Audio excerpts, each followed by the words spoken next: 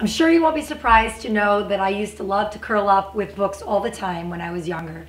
And I had a book of a collection of Christmas stories that I particularly adored, especially at this time of year. I could sit down and read one or I could read many and it just would be this great feeling of all these different types of stories that I, you know, could get anything out of.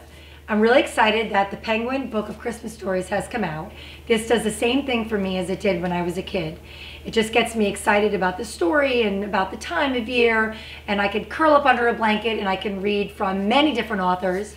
Um, Hans Christian Andersen, Truman Capote, Dostoevsky, Chekhov. Those are some of the authors in this great collection of stories for Christmas. Give it to someone who you know who loves to read. Give it to someone who you know loves Christmas. Give it to yourself curl up with your favorite drink, tea, coffee, maybe some eggnog, get under a blanket, and enjoy.